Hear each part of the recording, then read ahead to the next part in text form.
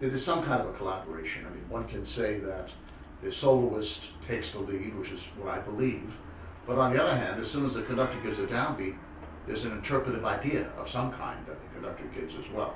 So it is a form of collaboration. Uh, working with Julian, uh, of course, for me is, is a joy because he's my son and I love him and, and he's a great cellist. But in terms of approaching it differently than I would with another soloist, the answer is no.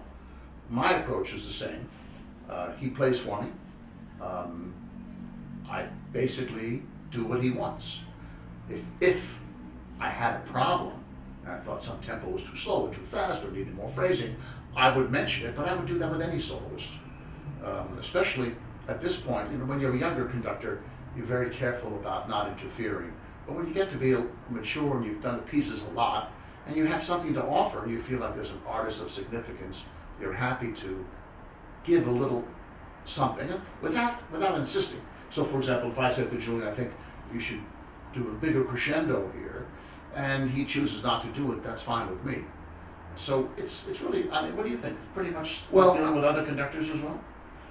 To, it's, to some degree, yes, but you know we have this this father son relationship, and I, I've since I was young, I've always played for my father, and I've always been someone who really relied heavily on his input and his guidance, and I really needed to explore the guidance before taking it. I needed to prove to myself that it was right. So, uh, because I think it's up the process of learning. So when he would tell me something and it would be different than what I'd want, I would explore it and I would ask him why and probe and you know see how it fit in. And eventually, regardless of whether I whether or not I agreed with the idea, eventually most of the time, an overwhelming majority of the time, I would come around and see what he saw, which was part of my, my growth as a musician. Now that we're doing things on a professional level where we're collaborating like that, um, I, I view it very similarly to any other conductor because I go in and I play for him and he gives me input and we collaborate on it. The only differences are, are two. One of them is that I have, I feel like we're connected in terms of how we think music should be played, and our ideas about musicianship and artistry, I think, are much more similar than I've um, observed observed with other conductors and myself.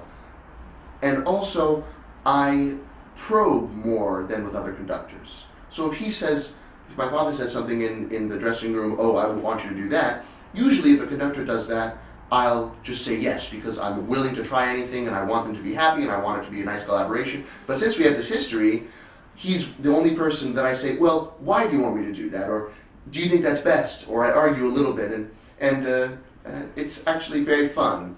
And it's even more fun because the slight differences we have are at a very high artistic level because we are at the beginning so close in our ideas about musicianship. So there are very slight um, adjustments that can be very interesting to work out.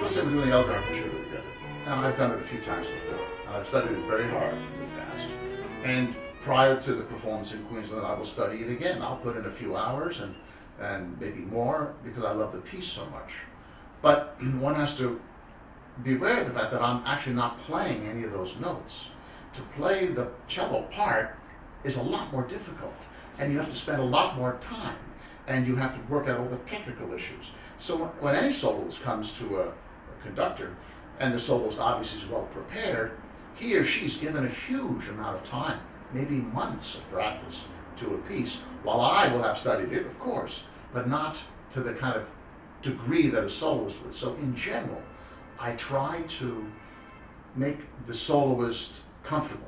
And the soloist is comfortable by doing what they have thought and practiced. Now, on occasion, I'll suggest something, especially with singers, which will be very different. And singers especially will object. But when they've taken my advice, very often it's easier for them. They just hadn't thought about it. Doesn't happen so often with instrumentalists. If, if there was a, a real disagreement, which between Julian and I there's never been, but if there were, I would go with his opinion and his ideas without question. And I guess just uh, interestingly, I think that I would go with my father's, and that in the end he is the boss because though I've had so much longer to prepare the piece, and I have such a potentially a deeper understanding of the solo part um, as I've been practicing so much, that also removes me from the big picture. And though I like to study the score and I like to I make sure that I have a, a worldly understanding of the piece, um, with your knowledge of how the orchestra works and the the ability of the orchestra to either Uh, do this or that musically, I sometimes could be doing something in the practice room that would be unrealistic for an orchestra to do as well, and not have that come to that realization until I work with a great conductor. That's never happened, but it's, it's a possibility. I think that the greatest inspiration I've had from my family growing up was the fact that music was was all around, all the time, and that just doesn't that doesn't mean that oh I had a lot of exposure to music, which it of course does, but it was that music was part of life. It was a way of life. It wasn't a it wasn't something that you did as a hobby or on the side. It was like eating breakfast every day. You'd come and do it, and you would experience it, and you would have and you would have an association with it, regardless of what you were doing in the rest of your life.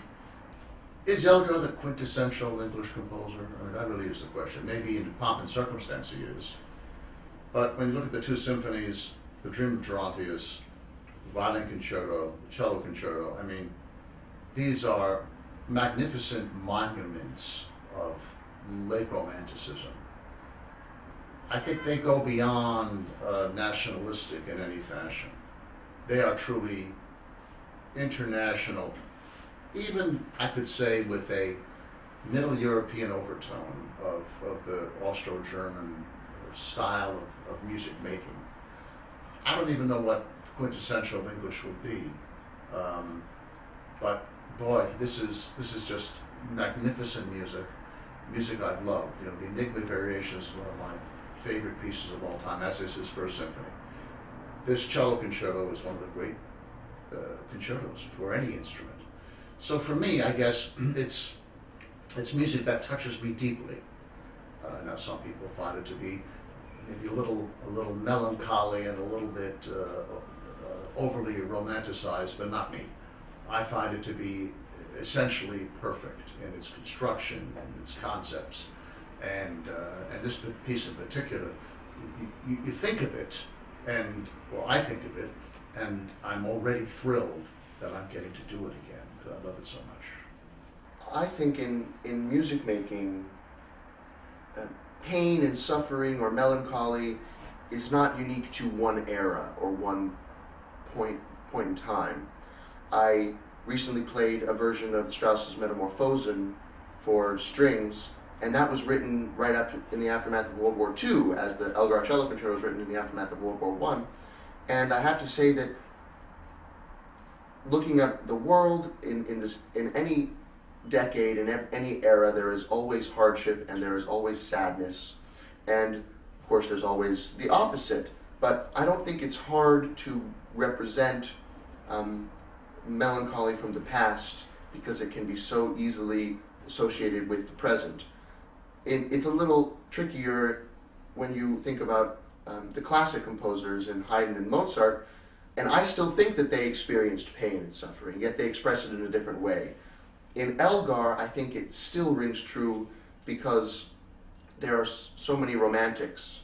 And it's, for me at least, I'm a romantic, it seems easy for me to understand the type of, of passion and emotion that goes into that piece and hopefully be able to reproduce it.